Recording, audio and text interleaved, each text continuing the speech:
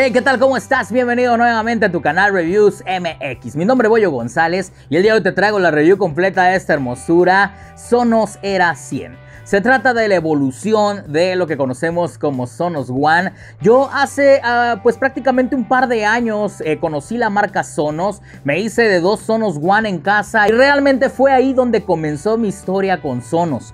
Realmente Sonos One a mí en lo personal me encantó. Es una bocina que va increíble. La compatibilidad que tiene con Alexa hace que tengas un asistente inteligente pero con un audio increíble.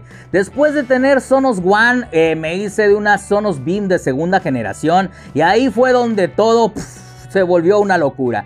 Un excelente nivel de sonido en casa, una barra Sonos Beam de segunda generación, complementada con dos Sonos One, haciendo que el teatro en casa sonase increíble. Después de eso dije, le falta un toquecillo por ahí de, eh, pues de bajeo y Sub Mini llegó al equipo. Cuando integro el Sub Mini a mi sistema de audio, definitivamente fue increíble. Y bueno, el día de hoy te traigo mi experiencia con esta Sonos Era 100 cómo ha evolucionado el sonido, qué diferencia hay entre este y Sonos One y si realmente vale la pena o no adquirir algo como esto. Bien, cosa importante comentarte es que este dispositivo se vende en el sitio oficial de Sonos, lo encuentras también en Amazon a un super precio. Cosa importante comentarte es que sigue teniendo la compatibilidad con Alexa, sigue teniendo compatibilidad también con iOS y bueno, obviamente con el asistente de Google. Bien dicho eso, no hablemos más y vámonos a la intro para comenzar con este este gran video.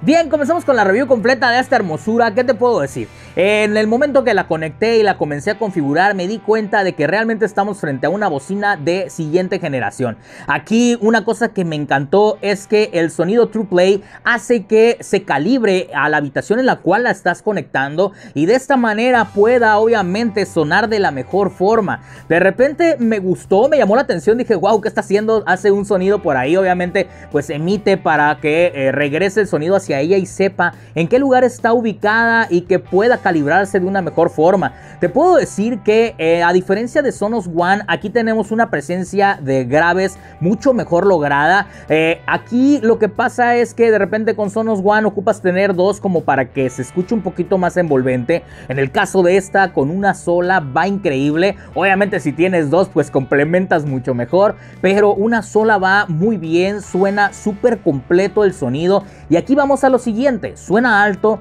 pero suena muy buena calidad y esto hace que para los amantes del buen sonido sea un disfrutar por completo. Diferencias también, bueno, el poderla eh, subir y bajar volumen mediante la barra que está en la parte de arriba, únicamente deslizando de esta manera, pues podemos eh, tener esa interacción táctil un poquito más, eh, pues un poquito más amigable. Me gusta que tiene la botonera que ya conocemos de regresar, adelantar, pausar o poner play. Una de las cosas que obviamente me encanta en esta versión era 100 es el hecho de que contamos con conectividad Bluetooth. Y yo creo que es lo que le hacía falta definitivamente a Sonos y aquí ya lo están implementando. El hecho de que no solo sea conectividad mediante tu aplicación, sino que tenga la versatilidad de una bocina cualquiera en la cual enciendes el Bluetooth, la conectas a tu teléfono y comienzas a escuchar lo que tienes en el teléfono. Pasa de repente como con Sonos Roam, que, que a pesar de ser una bocina muy portátil, es un poquillo complicado de repente conectar directamente a Bluetooth.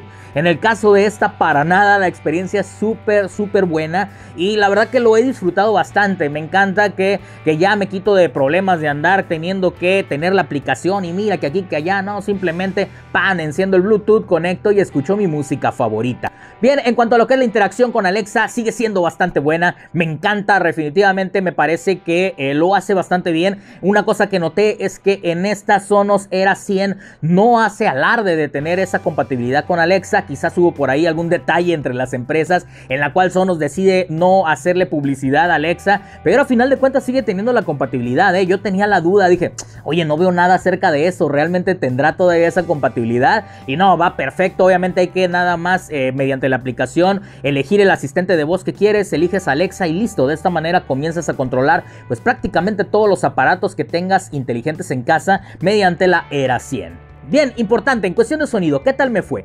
Por sí sola suena bastante bien, te puedo decir que la pude utilizar probando obviamente Amazon Music, que es la plataforma que yo utilizo, que no me patrocina, siempre lo digo. Me va bastante bien, el sonido es de muy buena calidad.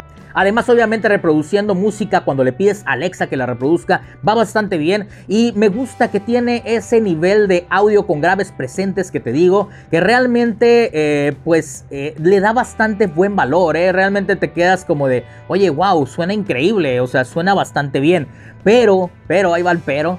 Si quieres complementarla a un mejor nivel, puedes emparejarla al mismo tiempo con el Sonos Sub Mini y lograr obviamente un sistema de sonido brutal. El Sub Mini empareja con ella brindándole obviamente un nivel de graves mucho mejor se enfoca la bocina a tener eh, medios y agudos y de esta manera haces un sonido en casa increíble. ¿eh? Te puedo decir que realmente entre Sub Mini y esta me dan muy parecido el sonido a lo que complemento o hago yo con Sonos Beam, Sub Mini y dos Sonos One, que es bastante que decir. ¿eh? Obviamente sí suena más fuerte con eh, la combinación de lo que te acabo de decir, pero no se aleja mucho esta sola junto con el Sub Mini.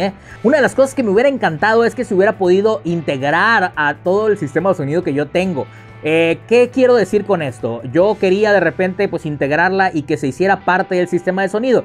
Pero vamos, o sea, obviamente tengo dos Sonos One, tengo una Beam y el Sub Mini que ya son como tal un teatro en casa. El integrar algo como esto pues no tenía lugar, o sea, ¿qué, qué, qué la ponemos a tocar? Y sí puedes poner a tocar exactamente la misma música, sin embargo no se hace parte del sistema de sonido como tal, porque ya el sistema de sonido se encontraba completo. Desvinculé prácticamente todas mis bocinas para ver con cuál podía yo trabajar eh, me di cuenta que únicamente pude emparejar directamente con Sub Mini, ya que si quería yo integrarlo con la BIM de segunda generación era necesario tener una segunda Sonos Era 100 para poder hacer el teatro en casa. De esta manera dices, ah, ok, perfecto, bueno, eh, ocupo tener dos para que se vaya obviamente a complementar el sonido. Una sola no lo pude hacer. Sin embargo, como te digo, realmente el hecho de poder integrar el Sub Mini con ella brinda una experiencia auditiva increíble y me fue bastante bien. Bien, obviamente hay que ir a escuchar qué tal suena por sí sola. Vámonos a escuchar estas Sonos Era 100.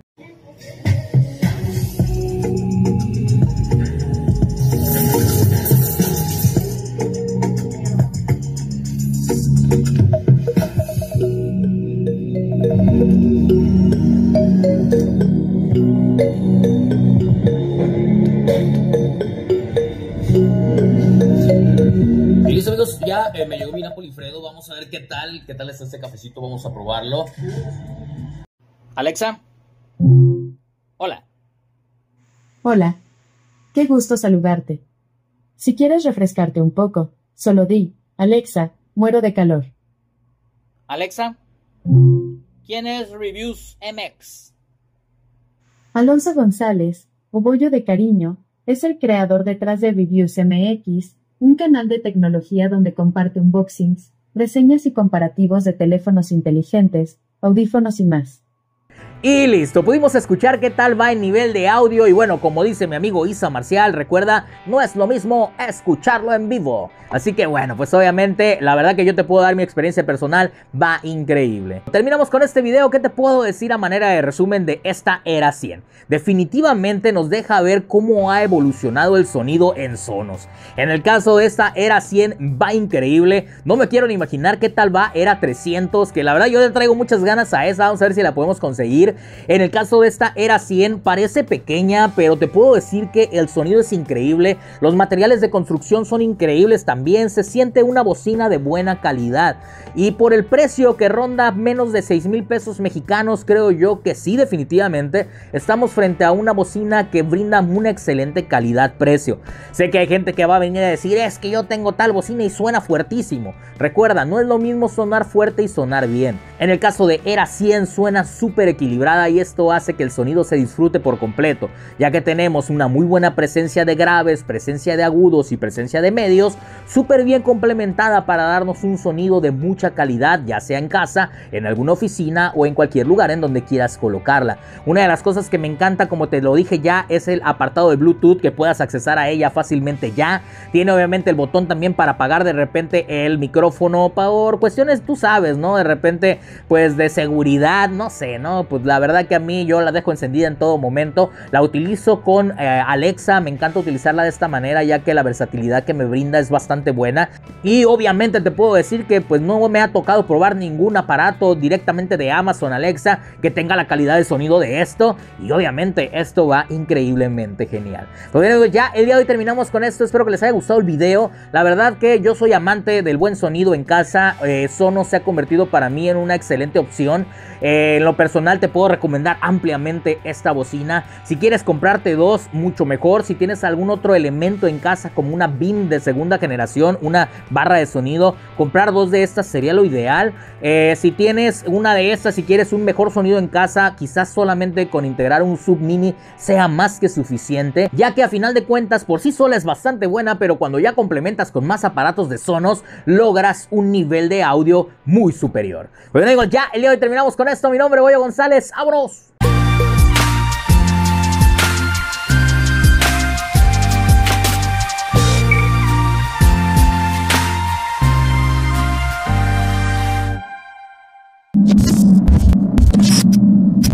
Oh, amigos, y la funda, la funda, no trae funda, pero eh, pues trae muy buen sonido, eso sí. Cosa importante, yo soy amante del buen sonido en casa. De repente cuando llego con bocinas así, mi esposa es de, ¡otra bocina! Y yo así de, ¡ah, demonios! Este, la verdad que va bastante bien, muy disfrutable. Te la recomiendo ampliamente. Realmente creo que lo que está haciendo Sonos es increíble. El poder actualizar mediante la aplicación las diferentes bocinas que ya tienes también está bastante bien. Que no dejan nada más el software de la bocina ahí olvidado. Se pueden actualizar y esto hace que tengas un sistema de sonido con un tiempo de vida mucho mayor. Pero digo, ya el día de hoy terminamos con esto. Recordate, último video que subí a Reviews MX, logotipo del canal. Tócalo.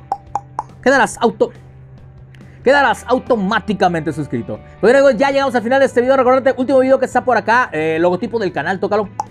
Quedarás automáticamente suscrito. Ahí nos vemos, bye bye, Siler. Vámonos.